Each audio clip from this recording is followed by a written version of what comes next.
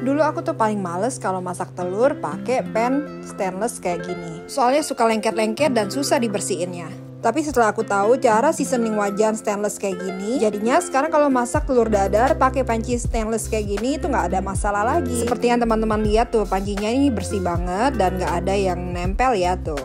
Ini beneran tanpa diedit ya, jadi ini bener-bener nggak lengket. Nah ini cuma masak telur biasa, tapi aku tetap rekam ya. Di sini aku mau masak telur dadar. Di sini aku pakai 4 butir telur. Biasanya kalau mau telur dadarnya lebih wangi, aku tambahin dengan tumisan bawang. Cuma biasa kalau bawangnya aku tumis dulu pakai pan yang sama, lalu lanjut untuk dadar telur masih ada bagian-bagian yang masih lengket. Jadi kali ini aku skip dulu untuk tumisan bawangnya. Untuk kali ini telur dadarnya nanti nggak aku kasih tumisan dan hanya aku kasih daun bawang iris. Daun bawangnya nggak aku tumis dan ini langsung aku campur aja ke telurnya dan aku tambahin dengan sedikit garam. Garamnya disesuaikan aja ya dengan selera. Aku takut kasih, nah aku pakai dikit aja. Lalu tambahin micin dan juga aku kasih merica sesuai selera. Lalu tinggal dikocok rata telurnya ya.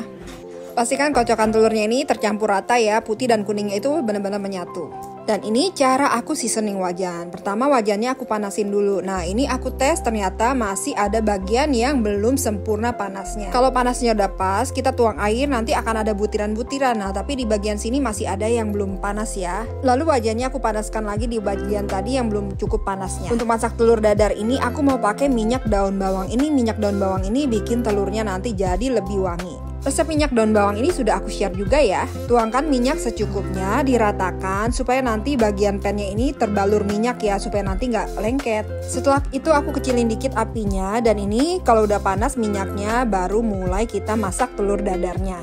Sebelum telurnya dimasukin ke pan, aku kocok-kocok lagi supaya nanti daun bawangnya lebih merata aja sih.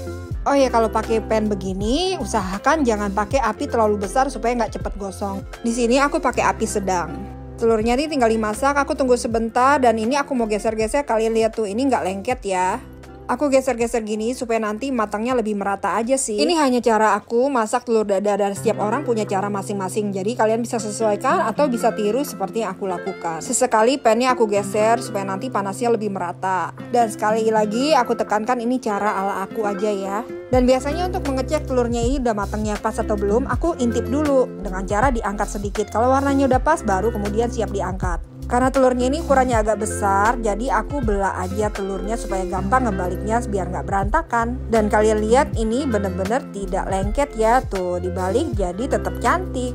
Sebenarnya kalau untuk masak telur dadar paling enak tuh kalau pakai minyak agak banyak kan jadi telurnya tuh lebih wangi. Tapi untuk kesehatan jadi aku pakai minyaknya secukupnya aja. Yang penting pannya ini terbalur dengan minyak. Kalau minyaknya lebih banyak biasa telurnya juga lebih wangi. Dan telurnya ini sudah matang nih aku goyang-goyang tidak lengket ya. Telurnya juga nggak kelihatan terlalu berminyak karena tadi aku pakai minyaknya secukupnya ya. Kalau biasa yang minyaknya agak banyak telurnya pasti akan terlalu berminyak. Semoga info ini berguna buat teman-teman yang punya panci stainless kayak gini dan bingung cara pakainya kenapa lengket. Dan usahakan pilih panci stainless yang tebel ya bahannya. Kalau panci stainlessnya agak tipis biasanya lebih cepat gosong. Selamat mencoba dan semoga berguna ya infonya.